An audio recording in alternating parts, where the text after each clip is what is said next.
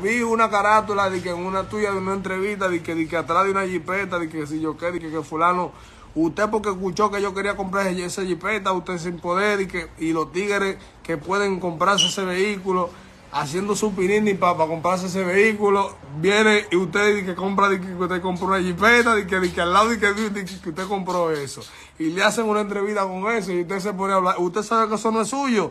Diga la verdad, diga eso, eso me lo prestan a mí, yo ando en eso. Eso es polaco. Eso es delito y polaco, ¿me entiendes? Prestado. Yo ando dando vueltas en eso, ¿me entiendes? Como honguito, como honguito, como hacen honguito. Y ando dando vueltas en eso, ¿me entiendes? Ah, tú me dices a los foques que compré una oro, pero a los foques tiene un programa y anda troteando y anda jodiendo por todos lados.